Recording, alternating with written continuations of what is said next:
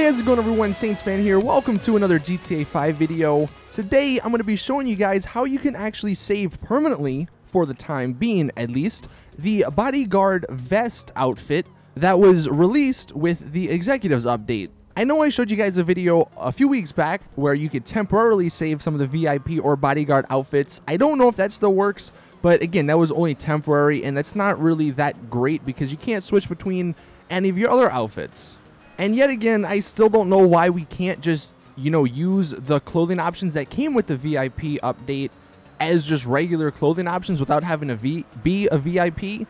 Like I don't know the reasons behind it. Maybe if we complain enough to Rockstar, they'll, you know, one day let us use that, but for the time being, this this glitch is the only thing that works and it only works on the bodyguard vest. It's fairly easy to do. All you need is a friend who is a VIP. And as you're going to see, we're going to start in the Ammu-Nation by the gear section. Have your friend scroll to whatever bodyguard, you know, color you want. Once you have that, equip an earpiece. After equipping the earpiece, back out and go stand by the shoe section.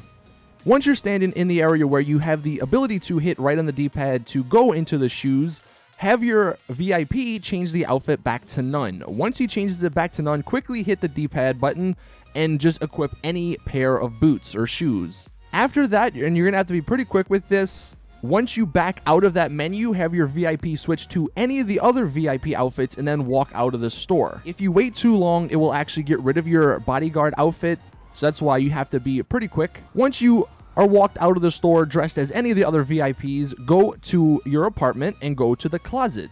Once in the closet, just stand like in the middle and get ready to hit right on the D-pad because you're going to want your VIP to change the outfit back to none. Once he changes it back to none for a moment, you should see the outfit switch back to the bodyguard. Once you see that, hit right on the D-pad and then change one of your hats. Once you have one of your hats changed, all you have to do is save this outfit and now, at least like I said, for the time being, you can have this outfit and it will not disappear. From here, you can go ahead and customize it. The only thing you can't customize is the top.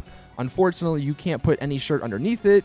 You can't put any overcoat on top of it. You can, however, put scarves on. You can put parachutes on. You can change the gloves. You can change the pants, the boots, all that stuff. You can do the mask and all that.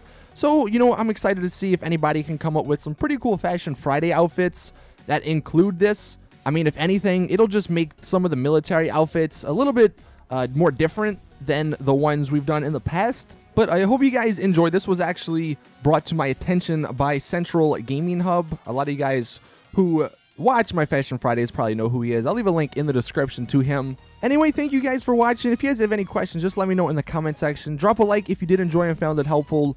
Subscribe for more awesome GTA content. And as always, see you guys in the next one. I'm out. Peace.